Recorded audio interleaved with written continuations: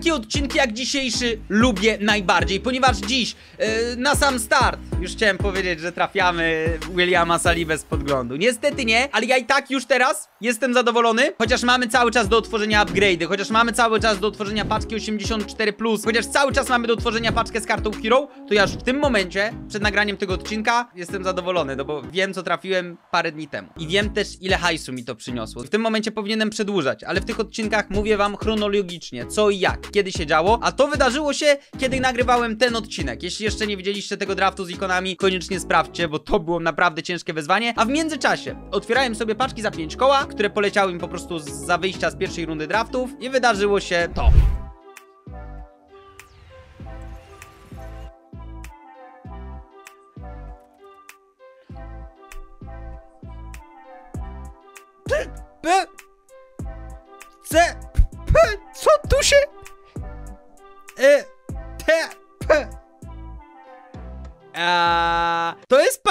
5000? Próbuję się dostać do żetonu draftu, który mam...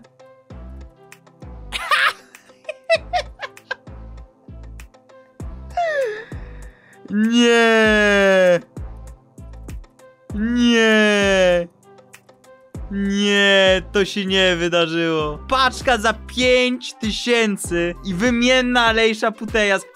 Ja nie wierzę w to. o matko. Ja w to nie wierzę, nie?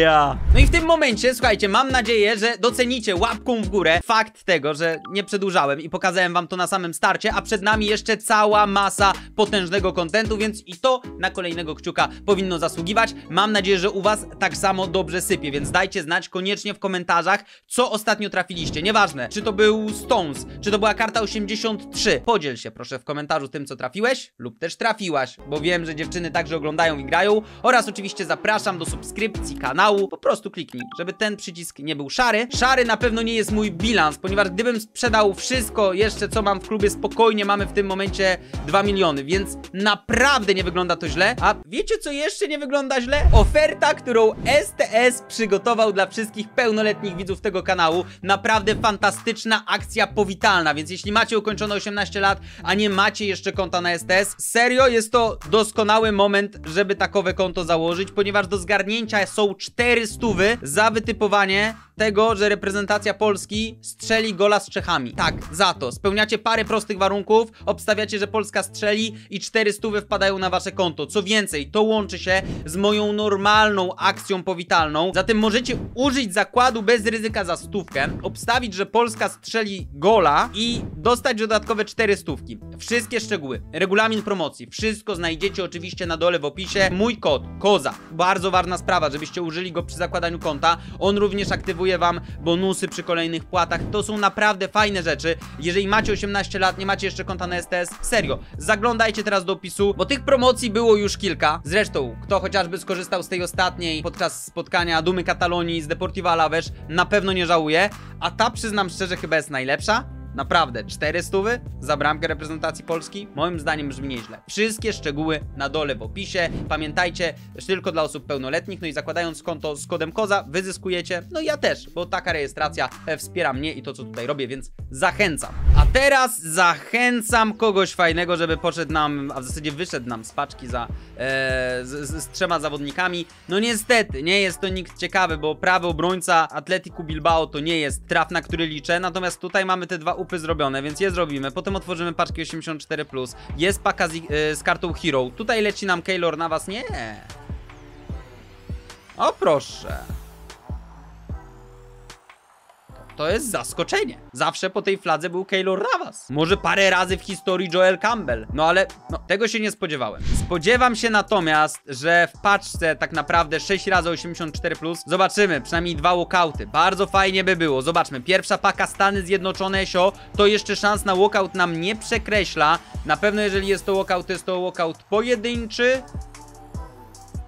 I nie jest to walkout. No to chociaż prosiłbym bez duplikatów. Dziękuję bardzo. Gabriel, Martinez. Jak oni mają taką samą cenę ogólną? No, nie rozumiem. Myślę, że po tym sezonie się to zmieni. Mam nadzieję, że mój skład zmieni się po tej paczce. Eee, no, nie zmienia się. e, bo Gulaszci raczej nie znajdzie miejsca w drużynie. A ja sobie przypomniałem, słuchajcie, że zapomniałem wam pokazać jeszcze jedną rzecz, a w zasadzie jeden traf. A mianowicie ja trafiłem kartę Hero, tak swoją drogą. I mam z tym klip. Co prawda jest to dosłownie tylko klip, bo nie nagrywałem swojej reakcji, ale proszę bardzo. Kolejna karta, tym razem niesprzedawalna, ale warta w tamtym momencie około 180-200 tysięcy. Wsk- Wskoczyła do mojego klubu. No i panem Kinem grałem, także podczas Food Champions i myślałem, żeby na temat mojej ligi weekendowej coś wam opowiedzieć, e, pokazać, ale słuchajcie, prawda jest taka. Zrobiłem 9 winów, miałem jeszcze 4 chyba spotkania na 2 Wszystko przerąbałem, został mi jeden mecz, oddałem i tyle po prostu. Głowa, głowa, gdyby, gdyby nie ta głowa, to to jest materiał na pro gracza. 12 winów w lidze weekendowej by zrobił taki. No ale niestety, nie wyszło. A jeśli chodzi o moje nagrody za Food Champions, to wyglądały one tak. Zatem liga weekendowa zakończona, nie będę ukrywał. Po prostu chcę otworzyć te nagrody, żeby sobie chociaż może poprawić humor. 3 czy 4 mecze mogłem, e, znaczy miałem na dwa winy i... No i pewnie już wam powiedziałem, no widzieliście jak to wyglądało, a jeżeli nie widzieliście, to po prostu przerąbałem i, i tyle. Zły jestem, no bo miałbym 11, tak? Mamy 9 winów, e, ale może coś ciekawego, ktoś ciekawy nam poleci. Aaron Ramsdale to jest mój pierwszy wybór. E, w drugim rozdaniu, no niestety, nagrody godne rangi, no bo mówmy się, 9 winów to nie jest ranga, za którą spodziewam się wielkich jakichś wzmocnień, ale liczę, że może coś ciekawego nam tutaj poleci. No bo w końcu jest paczka Ultimate, jest paczka rzadkiego piłkarza 85, czy będzie to John Stones jak zwykle? Nie tym razem. Bramkarz 85 to będzie Neuer. Manuel Neuer to cały czas jest wysoka ocena ogólna. Myślałem, że trochę wyższa. Nie wiem sobie czemu, bo cały sezon był kontuzjowany. Ale jest Manu Neuer. Bierzemy go do klubu. To jest mój najlepszy traf z tego pika. No bo do tej pory trafiłem tu zwykle właśnie Johna Stonesa. E, tymczasem paczka za 50 tysięcy wymienna. Czy będzie kogo sprzedać? No raczej nie, e, bo to jest Erin Dzeko. No, no, no niestety, yy, nie jest to najlepszy traf i zastanawiam się, no tak naprawdę zrobię tak, że chyba Edina i Jordiego sprzedam i tak jak normalnie tę zawartość tej paczki pewnie bym nawet quickselował dla końców, tak teraz są te różne upgrade'y, które pewnie będę chciał zrobić, zatem wszystko do klubu. No i czas na paczkę Ultimate. Czy będziemy tutaj mieli walkout? Bo dawno takowego nie było. Lewa obrona... E, to jest piłkarka. Nie mam pojęcia jak ona jest oceniona no niewystarczająco, żeby mieć walkout. Zatem, no ona, Laporte, Lukaku to są na pewno trafienia spoko pod względem tego, że te wszystkie karty warte, warte są więcej zapewne niż, nie wiem, jeden walkout, prawda? No ale nadal brak walkoutu w paczce za 125 tysięcy, no to jest coś takiego, co sprawia, że ciężko tutaj, wiecie, wystrzelić w górę z radości, że trafiło się coś niesamowitego. Zatem, no muszę powiedzieć, że te nagrody, czy poprawiły mi humor? No, no, no, no, no raczej nie, no. Taki Orban z tej paczki z podglądem, no to mniej więcej jest ten sam poziom tego, co tam było w paczce za 50 koło. No, trzeba było wygrać tamte mecze i byłaby lepsza ranga, byłyby lepsze nagrody. No, mogę mieć pretensje tylko do siebie. Tak samo jak cały czas nie wyszło mi zrobienie SBC o Juda Bellingama albo Barelle, ale powiem szczerze, kurczę, ja cały czas myślę, ja cały czas nie jestem przekonany, ja cały czas nie wiem. I tak sobie myślę, czy ja chcę wkładać w nich końsy, czy nie chcę wkładać w nich końców, czy któryś by mi się przydał, czy by mi się nie przydał, a ciągle wychodzą te upgrade'y, ciągle ten foder jest do czegoś potrzebny, w sensie zaraz będę robił kartę hero, no może tam na przykład trafię sobie Markizio, może tam trafię sobie zaraz Jaje Touré. No i, i wtedy taki Barella go zrobię i będę żałował. W sensie nie trafię, ale jak trafię, to będę żałował.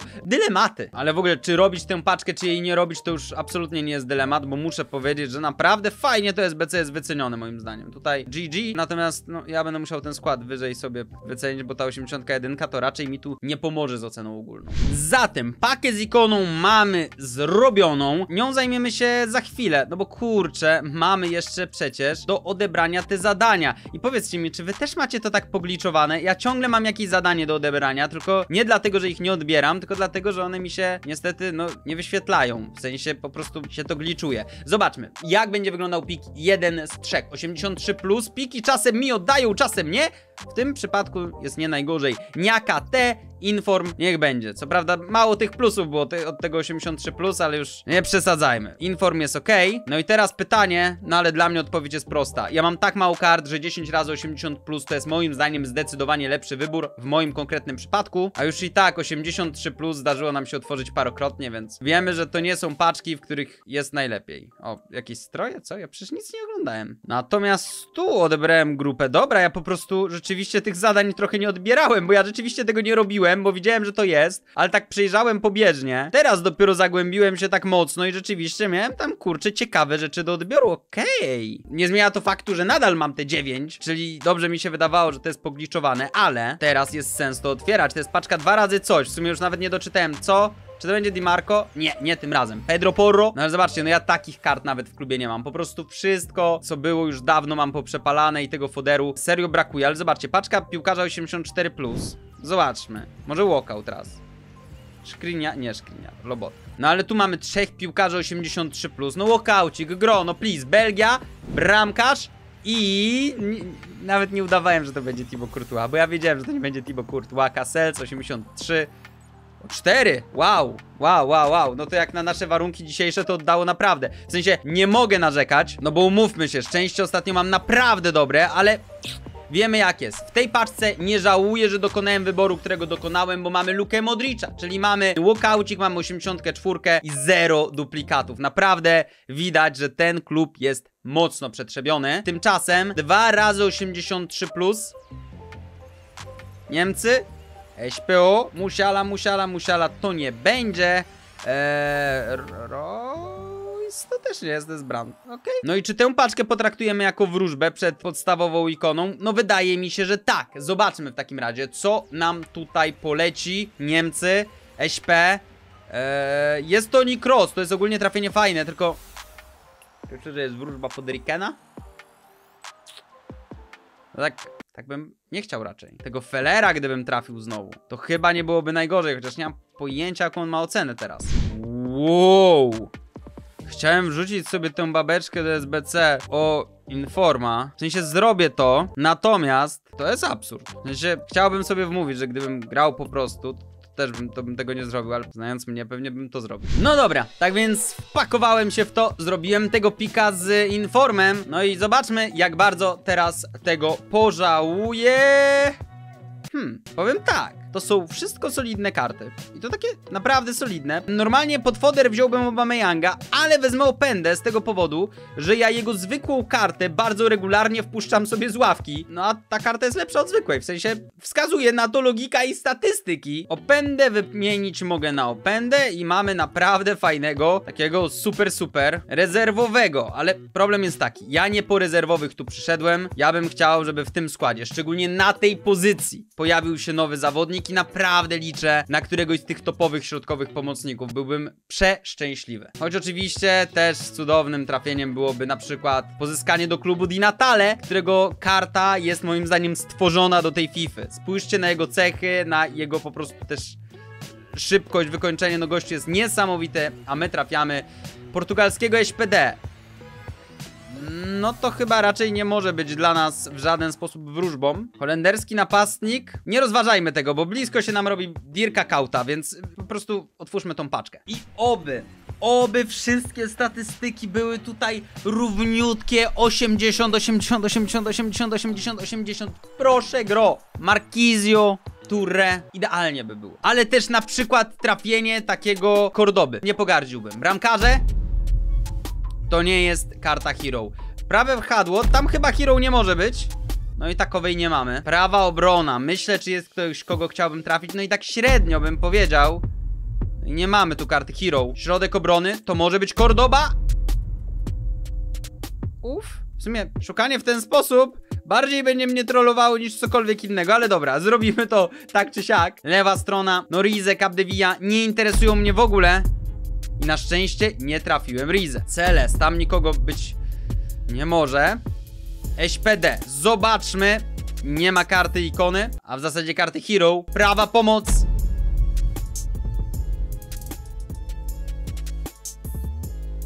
To jest prawa pomoc. To jest głową. No i z jednej strony... Hmm. Z drugiej strony, jakbym zobaczył Francję i Hero na animacji, a potem GW, to nie wiem, czym to wytrzymał. Chociaż ziomal jest warty 275 tysięcy, myślałem, że jest dużo gorzej. W sensie, no te staty nie są najgorsze, ale 4 na 3. Hmm. Na pewno nie rozwiązuje on nam problemu środka pomocy. Natomiast na pewno to też nie jest traf, który mogę uznać za jakiś mega słaby. No on też ma ten playstyle do power shotów. Ja nigdy nie miałem karty z tym playstylem w składzie. No zobaczmy. Ale tak patrzę na ten skład, kurczę. Tak chciałem tego turę. No brakuje go trochę tutaj. Zatem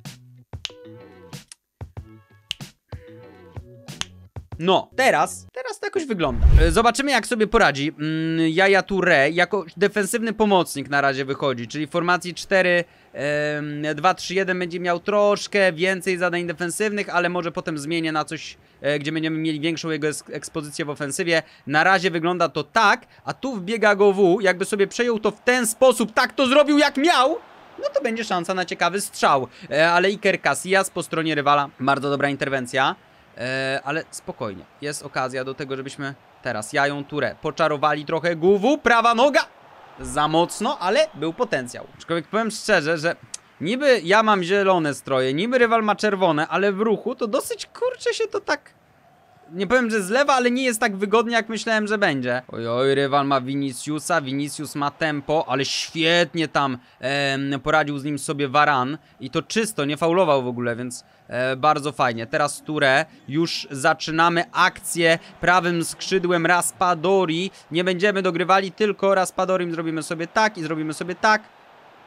No i może na ratę, ale jest gol. Raspadori zawsze ma jakąś taką umiejętność, że ta piłka mu się gdzieś przyklei, zawiesi i, i wpadnie do siatki. No, powinienem inaczej to wykończyć, ale ważne, że jest bramka, więc e, jest e, to powód do zadowolenia. E, tymczasem teraz spóźniłem to zagranie. Fajnie by było tym Touré coś spróbować uderzyć. No też GW też fajnie by było uderzyć tym power shotem. Natomiast jak ja zacznę szukać tych uderzeń, to to się skończy stratą nie tylko piłki, ale też pewnie gola. Więc trzeba grać swoje, a GW faulowany, nie no oczywiście, panie sędzio, przecież to, to, to było, było proste, że tam był faul. Które świetnie teraz udaje się znaleźć Leao, Leao do GW, to miało być, ale jest Raspadori. No i słuchajcie, mogę sobie trafiać te ikony, mogę sobie robić różne rzeczy, ale potem jest Raspadori show. Ja nie wiem, naprawdę, zrobiłem ewolucję tej karty i ona gra tak jakby tam zamiast 85 85 było 95 95 i w tempie em, i w strzałach. No niesamowity jest ten koleś. Dostaje teraz trzecią piłkę, em, szansę na trzecią bramkę. E, nie wypuszczamy sobie, zróbmy sobie to tak. O, ale zepsułem. Dobra, no nie, to to mój błąd, mój błąd, mój błąd. Zupełnie nie wziąłem pod uwagę tego obrońcy jeszcze jednego, co nas gonił. Oj, ładne podanie do Drogby teraz, ale on tego nie skończy, prawda? No nie wiem, czyj gol był brzydszy, mój pierwszy, czy jego pierwszy. No ja wiem, że po swoich nie musiałem robić cieszynek. Mam nadzieję, że będę mógł się odwdzięczyć.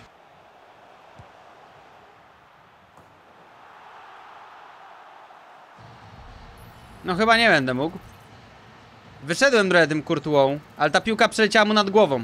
W sensie ja liczyłem, że on się da nabrać, yy, no ale dał się nabrać mój bramkarz. Ture, tam Leao ucieknie świetnie, pięknie wyklepana ta akcja. Leao po długim to jest gol. Tak jest, Rafael Leao. Oj, oj, oj, oj, oj. No ale jakby w tym meczu nie powinno być remisu, tylko po co ja ten trójkąt tam kliknąłem, żeby się ten, żeby tego Kurtuę wyjąć. No sam sobie tutaj dałem em, przeciwnika pod tlen, ale jest go w, jest go w. Spróbujmy, aj, nie udało się już przełożyć nogi, ale teraz e, mamy okazję minąć rywala, no jej nie wykorzystujemy. Nie. Jest gol? Nie. Nie.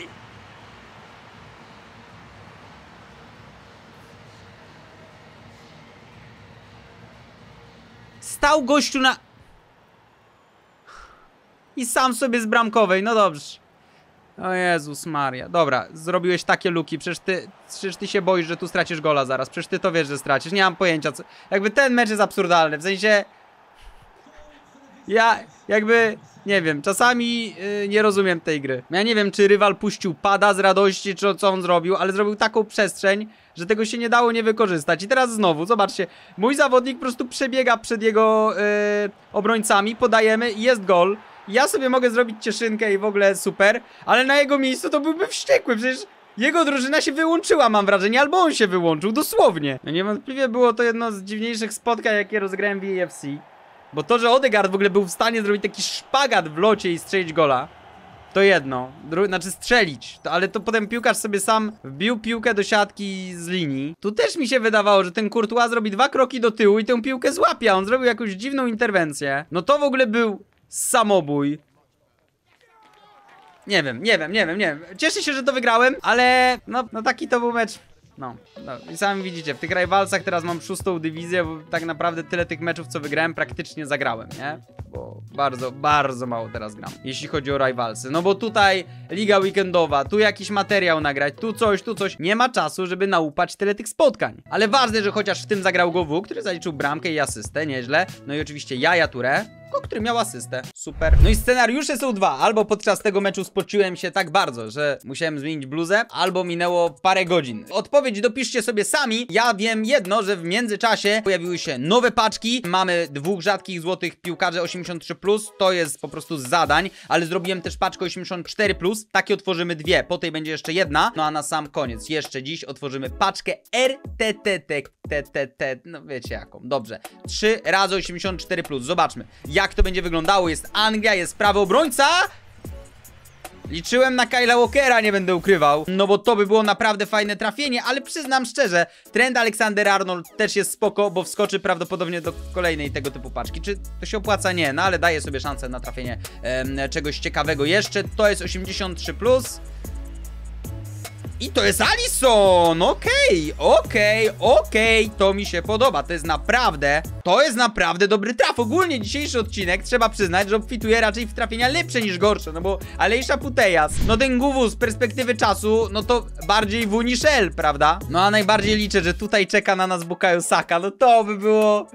Ojejku, no to by było piękne, ale najpierw otwórzmy sobie jeszcze tą paczkę 84 plus razy 3, czyli jakby policzyć to wszystko, to znowu w odcinku w ogóle było ile? Z 6 razy 84 plus pewnie, paczka z Hero. No dobry był to odcinek, no. Przynajmniej moim skromnym zdaniem. Wy swoje oczywiście wyrazić możecie w komentarzach i mam nadzieję, że napisaliście. Co tam też udało wam się trafić może w tych paczkach. Holandia, Esio, Virgil, Virgil, Virgil.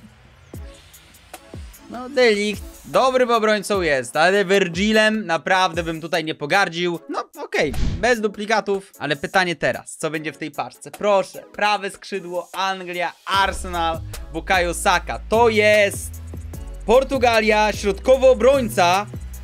Nie wiem, przez chwilę myślałem, że to będzie Ruben Diaz, czyli to będzie Pepe. No wysoka ocena ogólna to też nie jest a, no, no Pepe, no. 80 tempa, 83 obrony, 92 fizyczności. Listopad, karta warta poniżej 20 tysięcy. Szkoda, ale z drugiej strony, jak wam wspominałem, ja naprawdę na szczęście po dzisiejszym odcinku nie mogę narzekać.